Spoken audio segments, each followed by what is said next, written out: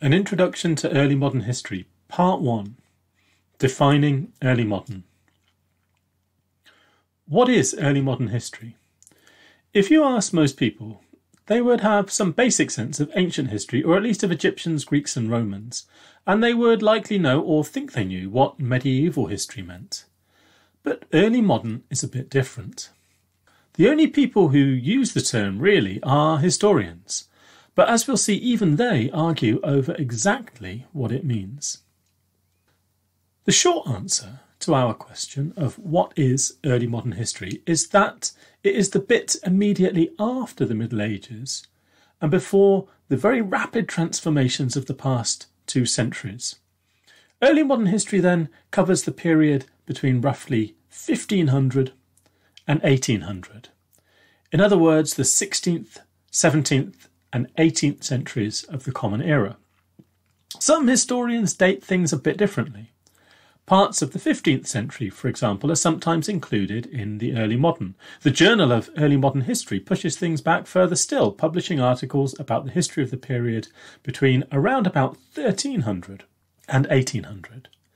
But that 1500 to 1800 range is still fairly broadly accepted as the parameters of early modern history. In this lecture, I will talk to you about that date range. Why does it seem to make sense to take the time around 1500 as an endpoint to what we call medieval history and the start of something we call early modern? And why that word early? What is the difference between early modern history and history that is simply modern, beginning around the year 1800? Before we do any of that, I would like to show you that you already know what early modern history is, even if you don't use that term very often.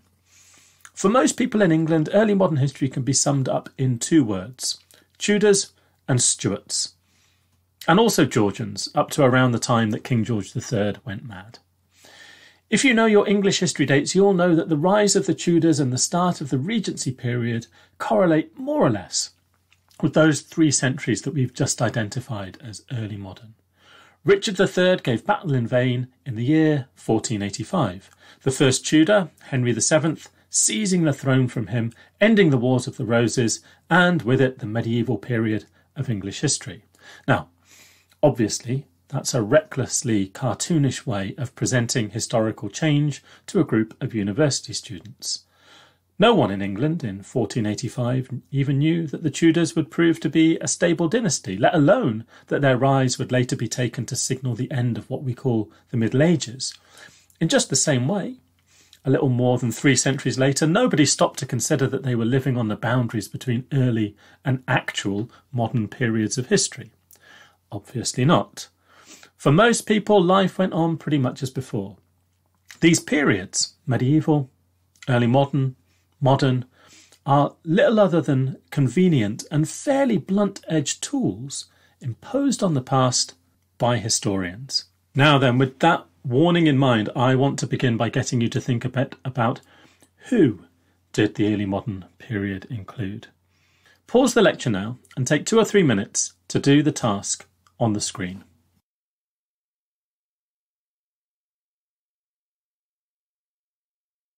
Okay, thanks for doing that. Now, for what it's worth, here's my go at the task, which I did with a little bit of help from my 10 year old son, who is scarily good in his grasp of early modern history, derived in some part from horrible histories. So here are some early moderns from British history that you can see. And then below that, some early moderns from further afield. Now, if you like, you can pause the lecture and compare your list with my list. Hopefully, you've just realised that you already have some knowledge of early modern history. Even if you didn't recognise every single one of those names, and if you didn't, Google them. Hopefully, that exercise has also quickly put you in mind of some of the various themes that shape historical study in this period. You are unlikely to have read that name Columbus, for instance, without thinking somehow of sea voyages and the colonisation of the New World. Likewise, the names of Martin Luther and Henry VIII probably put you in mind of the Protestant Reformation.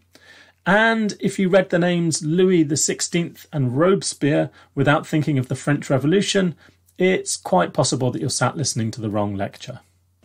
Let's start talking about events and transformations associated with the start of our period. When and why did the early modern period begin? Well, we could debate this all day, and there are probably as many views on this as there are early modernists. Early modernists, that's the name that early modern historians give to themselves, by the way. Here are a few suggestions based on traditional understandings of what makes the early modern. So, what kind of events help signal the beginning of the early modern period in history? One thing that we could point to is the invention and spread of the printing press. Uh, invented by Johannes Gutenberg in Germany in 1440 and leading to a subsequent print revolution.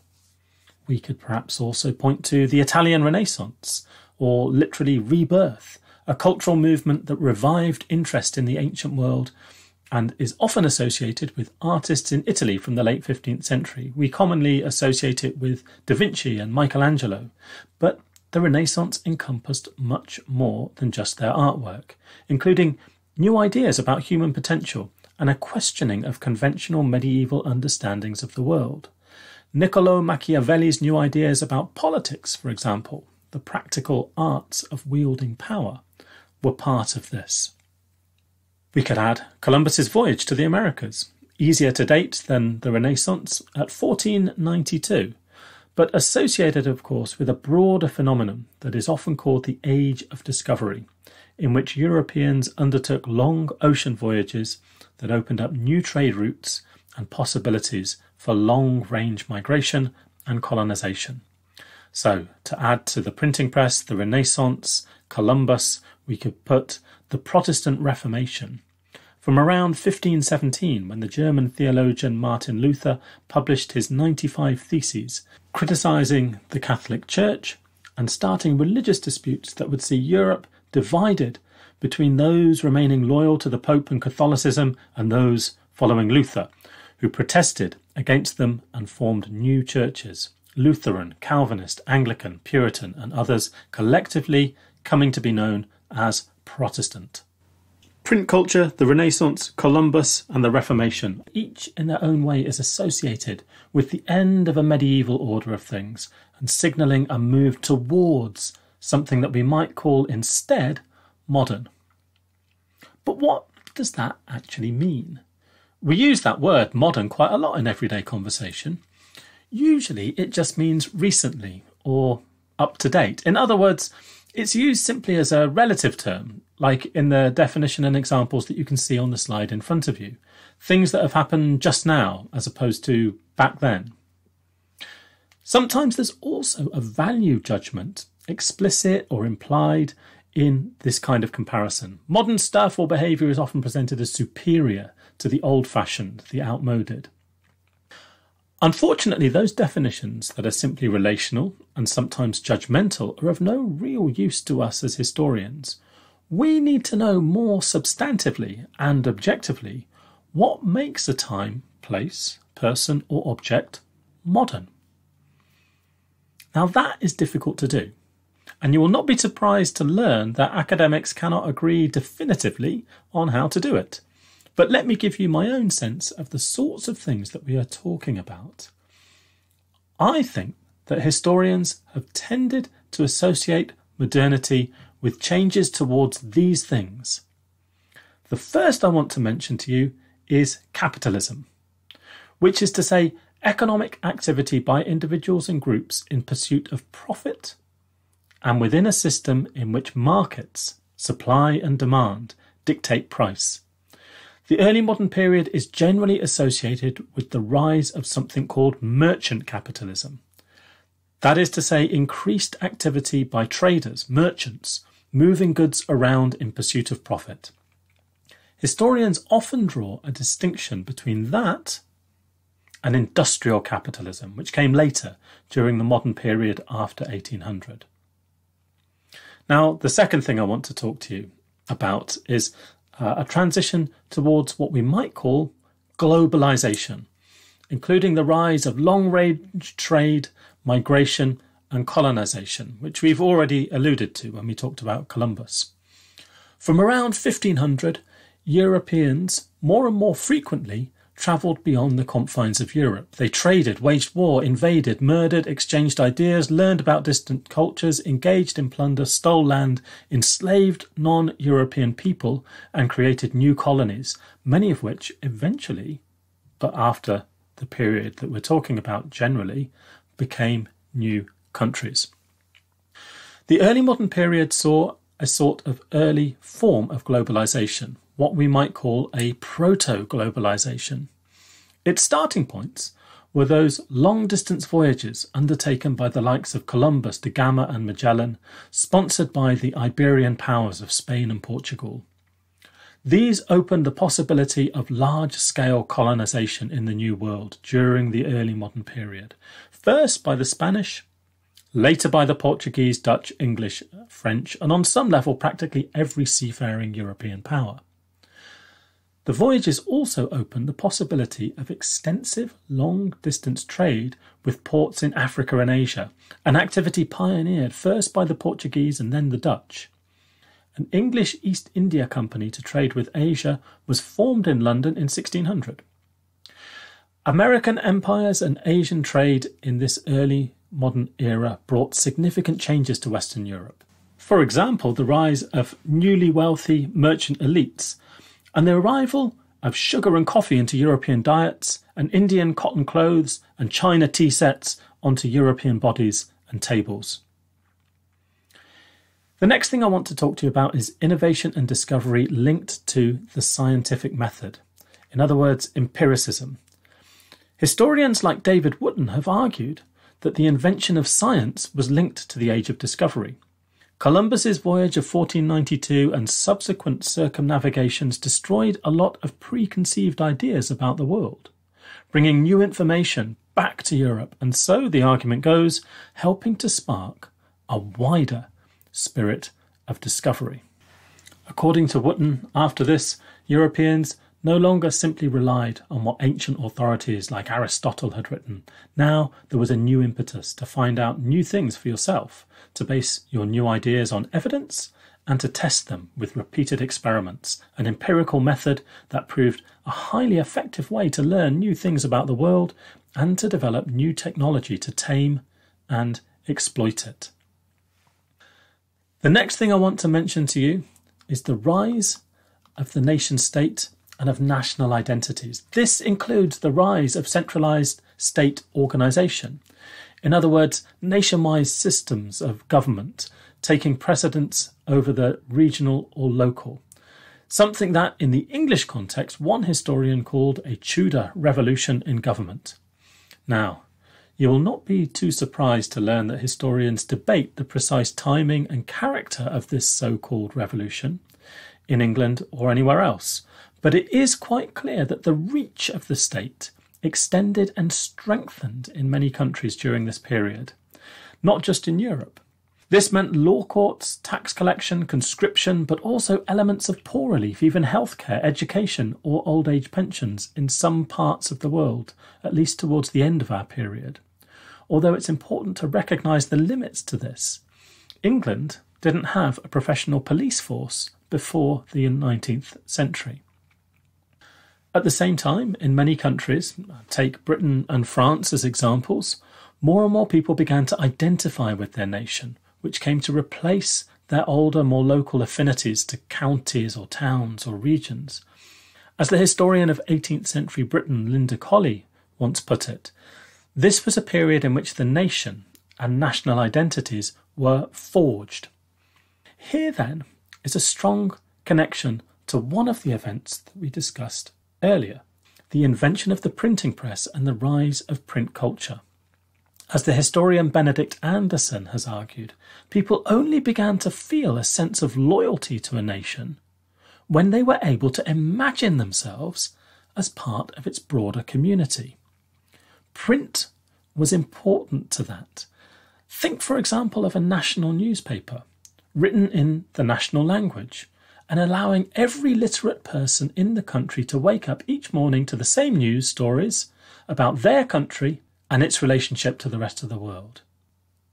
Now, finally, we talked earlier about value judgments that we often make in relation to the word modern. Modern as progressively good and ancient or medieval as backwardly bad. This is not generally a very useful way to think about history. And this last example that I want to give to you illustrates that, and that is the creation of racial thinking in the early modern period. Before the changes that we have described as early modern, the rise of capitalism, globalization linked to colonization, the scientific revolution, and the birth of nations, people did not think in racial terms. Most often, religion was the dividing line between them and us in their minds. Modern racism was created in the early modern period and linked to its other major changes, most obviously through the rise of plantation slavery in the European colonies of the New World. These colonies were essential to the rise of early modern merchant capitalism, producing the sugar and coffee that transformed European consumer society on vast plantations carved out of land conquered from Native Americans. Increasingly, those plantations were worked by enslaved Africans, and Europeans developed a powerful ideology to justify why black Africans should be brutally torn from their homeland and forced to work in European colonies. They also developed another idea the idea that they were white, and that whiteness denoted superiority. The term white as a collective term for Europeans was first used in the 17th century in the plantation colonies of the Americas at the same time as those colonies laid down new laws that privileged Europeans and condemned enslaved Africans to hereditary servitude.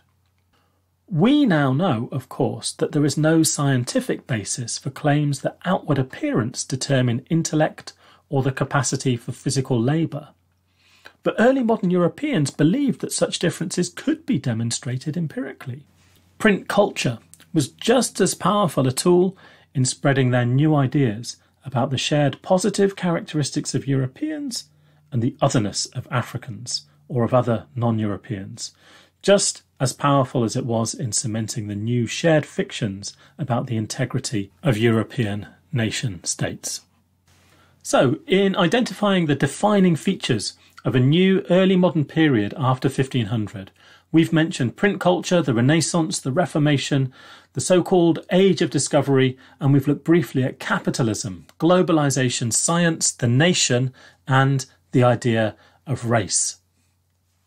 Now, I want to mention a few more types of change. Transformations taking place within our early modern period, but associated now with its ending, with the transition to fully fledged modernity after 1800.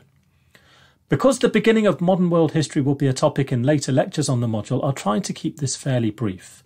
And I think the first thing to mention is the competing rights of kings and parliaments.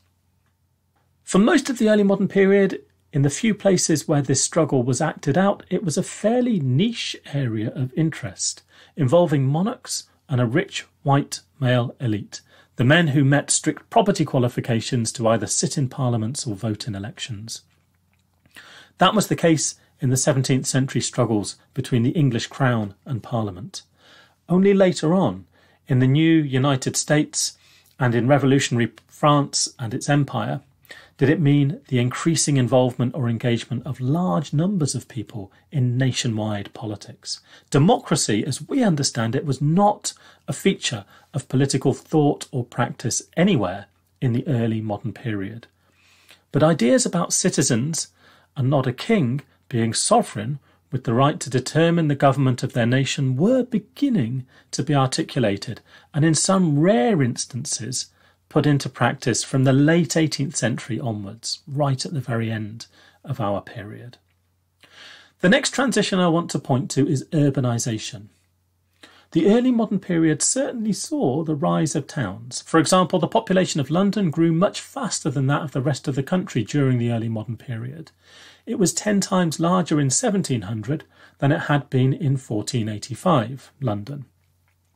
Its population stood at roughly half a million at the start of the 18th century and at a million by the end of the century. But the transition to majority urban dwelling societies still belongs to a later period. During the 18th century, even in the fast urbanizing parts of Western Europe and the Americas, most people still lived and worked in the countryside. In 1800, fewer than a fifth of English people lived in towns or cities. That was to change dramatically after the early modern period in the 19th century and beyond. Urbanisation related to another big shift that started right at the end of the early modern period, the Industrial Revolution, beginning in England during the late 18th century. Although many of the techniques of regimenting labour and factory production were evident on the slave operated plantations of the Americas at earlier dates. This moment, the Industrial Revolution, is associated with a change in the character of capitalism, as I alluded to before.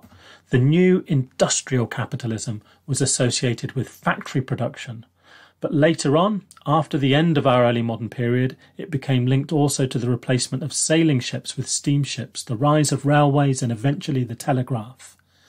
By the 19th century, then, an older, early modern world of wood and sail was giving way to a modernity characterized by iron and steam. Extending that theme of scientific and technological change, innovations in medicine and mechanized farming techniques using new fertilizers also helped to prompt rapid changes that marked a watershed moment in world history. In particular, they relate to perhaps the most profound transition away from an early modern experience and towards the thrills and horrors of high octane, flat out modernity. I mean, population increase. If you look at the slide in front of you, you'll see what I mean. The point around 1800 is a pivot between a steady population rise during the last century of the early modern period and the exponential population explosion of the past two centuries. As much, perhaps more, than anything else, it's this boom in the human population of planet Earth and all its impacts, not least on the environment, that are characteristics of our later modern times. Okay, so finishing with that example, I hope by now that you can start to see why historians tend to divide the modern period up. With our early modern period containing important transitions away from the medieval, but with more dramatic change coming later on, with the birth of a more recognisably modern world around about 1800. That is to say, around the end of the 18th century and into the beginning of the 19th. A different historian to me might have found other things to discuss with you. I've said little, for example, about identity, including changes towards a modern sense of selfhood, in which individuality and self expression were first tolerated and then celebrated in ways that would have made very little sense to medieval people. This is one of the characteristics that many historians see as very important to the early modern period. I've said nothing about gender either including changing ideas about what it meant to be a man or a woman during the early modern period. I've had to be selective in the interests of time, of course, and you should take more time to explore all of these themes, the themes that I've just introduced to you in some detail and those that I've skated over. And I think that this recent book by Merry E. Wiesner Hanks is as good a place as any to begin. As you probably, I hope, already know, it's listed as essential reading for this lecture on the reading list.